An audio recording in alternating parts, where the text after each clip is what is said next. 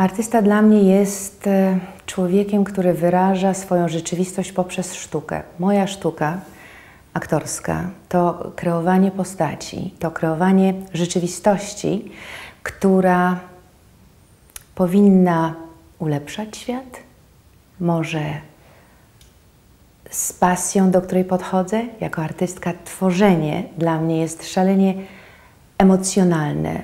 To jest y, samopoznanie siebie, a jednocześnie to jest kwestia jakby um, otwarcia emocjonalnego na to, co robię, na świat i y, na, mm, na społeczeństwo, w którym jestem. Ta rzeczywistość bardzo mnie um, ciekawi i jednocześnie jest to jakby mistyczna misja dla mnie. Robienia czegoś, co jest ponad, czegoś, co może zostać na, na, na zawsze w annałach, może zostać na zawsze w naszej w kulturze światowej. Dlatego, że ja mieszkam e, pomiędzy Stanem, Stanami Zjednoczonymi i e, Kanadą i Polską. Mm, mm, ja tworzę w trzech językach i posługuję się, posługuję się mm, instrumentem, który jest moje ciało. To jest najważniejszy instrument dla, dla artysty, e, ponieważ e, malarz posługuje się pędzlem, prawda? Albo e, pisarz czy poeta słowem, a ja swoim ciałem i swoim wnętrzem.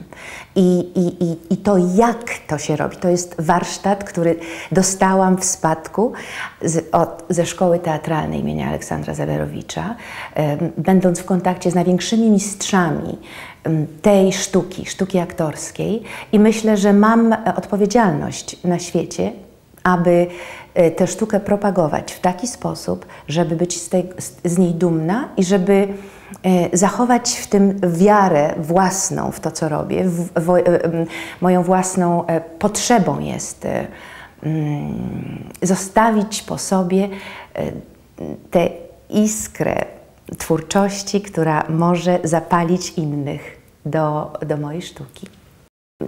Sztuka aktorska to jest sztuka, która wymaga bardzo dużo e, cierpliwości, bardzo dużo czasu spędzonego z, bo to nie jest e,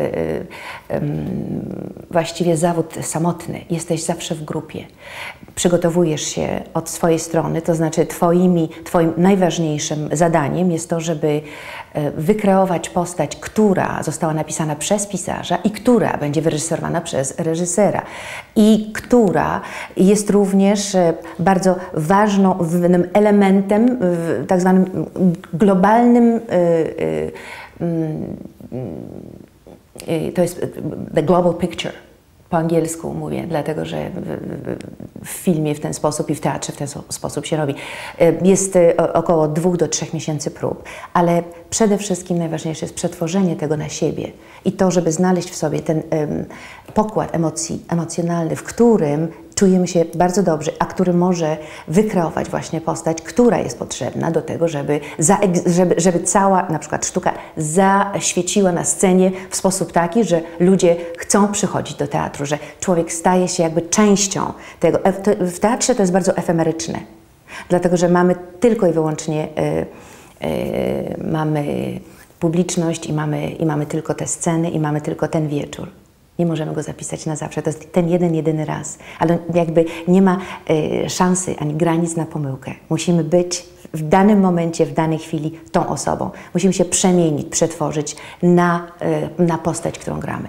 Film jest troszeczkę inaczej, prawda? Y, mówię o tym, że wszystkie te role, które ja zagrałam, w jakiś, w jakiś sposób ewoluują mnie również, dlatego że e, rola na przykład Abigail, e, wiedźmy, czarownicy, która chce zawładnąć pewnym światem i która chce wszystkich oszukać, dała mi zupełnie coś innego, wyzwoliła we mnie zupełnie inne emocje i zupełnie inne walory, które jednocześnie przy okazji styczności z tak wielkimi gwiazdami jak Zapasiewicz, jak Łomnicki, jak Walczewski, jak Wilhelmi, postawiły poprzeczkę tej, tego, tej mojej sztuki aktorskiej na bardzo wysokim poziomie bo bardzo dobrze jest grać z tymi, którzy są mistrzami.